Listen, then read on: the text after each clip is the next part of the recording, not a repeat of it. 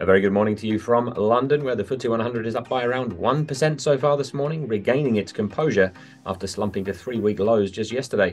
The index has had a pretty lackluster start to the year, and today's biggest casualty by far is Burberry.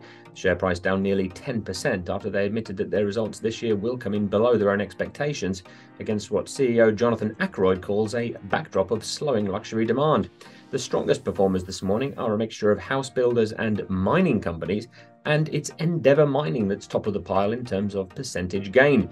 They've had a truly horrendous start to the year, being forced to part ways with their CEO, but today may be the day that the bleeding finally stops. They're up 3% on the day so far.